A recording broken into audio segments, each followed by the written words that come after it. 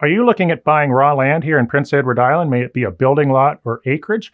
One thing you might want to keep in mind when you look at either the GeoLinc or what I refer to as an ortho photo or an aerial view is if there's any wetlands, streams, rivers, creeks, lakes, oceanfront, straitfront all of this stuff is buffered typically 60 feet on either side. So if you have a little blue line running through your lot and it's a stream and that lot's only 250 feet long, you've got a 120 foot buffer 60 feet on either side that you can't build on.